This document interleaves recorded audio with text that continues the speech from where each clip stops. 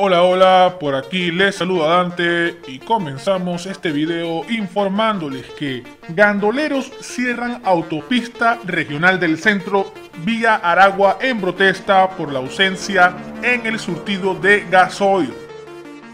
Y es que usuarios en las redes sociales reportaron la mañana de este viernes 5 de marzo que un grupo de choferes de transportes de carga pesada obstaculizaron la autopista regional del centro sentido Aragua para exigir gasoil, ya que sin el combustible no pueden movilizar cargamento que llevan a su destino.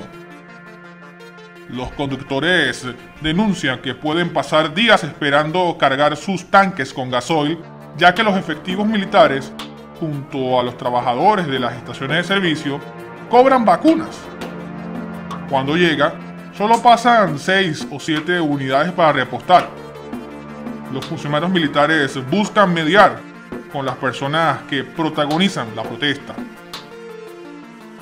Por su parte, en Guatire, Estado Miranda, se registró una situación similar por la falta de gasoil. Sin embargo, lo que se evidencia, según lo reportado previamente por el portal El Pitazo, son largas colas de usuarios esperando a una de las pocas unidades de transporte público que se ven imposibilitadas a trabajar tanto por la dificultad de conseguir insumos para mantener los vehículos como la escasez de combustible. Hasta la mañana de este viernes 5 de marzo, ninguna de las estaciones de servicio que distribuye diésel en la región ha recibido despacho del combustible refiere el mencionado portal.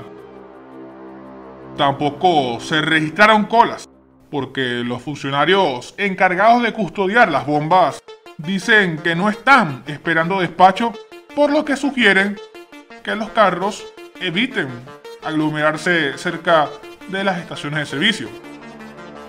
Por otro lado, también a través de las redes sociales se dieron a conocer presuntas agresiones por parte de funcionarios pertenecientes a la Policía Nacional Bolivariana hacia los manifestantes, que estaban exigiendo un derecho en plena vía pública.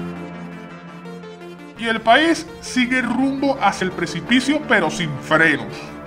Definitivamente con el chavismo en el poder, no hay soluciones a la vuelta de la esquina.